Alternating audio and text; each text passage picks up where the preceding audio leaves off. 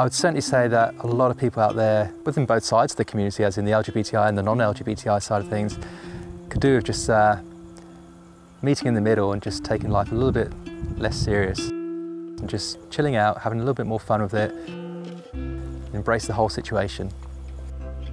It's time to move on together. And I think as soon as we can bring the two sides together, we've got somewhere to go forward with.